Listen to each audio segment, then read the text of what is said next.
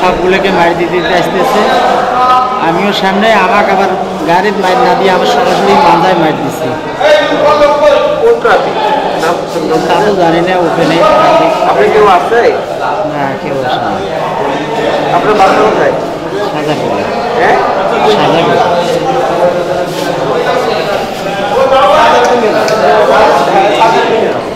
পিছন থেকে আর কি আপনাকে আঘাত করছে?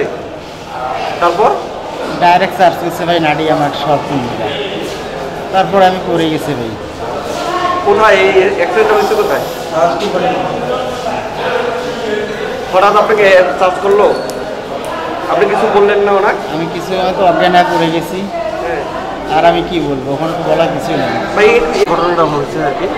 ঘটনাটা শুনলাম যে ট্রাফিক একজন ট্রাফিক ওনাকে মানে বাড়ি দিয়ে সরাইছে যে ওনার কোমরে বাড়ি লাগছে উনি সেন্সলেস অবস্থা হয়ে গেছে ওখানে। ইঞ্জুরি ওনাকে মেডিকেলে নিয়ে আসা হয়েছে প্রশাসনের লোক সহ। এই। আচ্ছা, ওনার নাম কি ওনার বাসা কোথায়? শহীদ হ্যাঁ বাবুপাড়া সাজাপুর বাসা উনি ওখানকার ভাড়াটিয়েন। ওনার এলাকার বাসা হচ্ছে কুড়িগ্রাম। ওনার বাবার নাম কি? বাবার নামটা সঠিক আমার জানা নেই। উনি কি করে? উনি তো রিক্সা চালক। ইনি রিক্সা চালক? জি। আপনার বাসা? ওই সাজাপুরে। আপনার নাম? আমার নাম শাহাদত হোসেন সেলিম।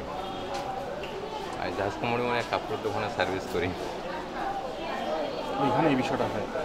আপনি কি চোখের সামনে দেখছেন না না আমি অনেক পরে দেখছি। হ্যাঁ যা দেখি যে ওখানে অনেক লোকজন।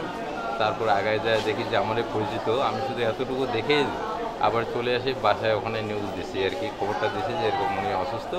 হ্যাঁ দাসকুমার মনে আসেন। এই। মানে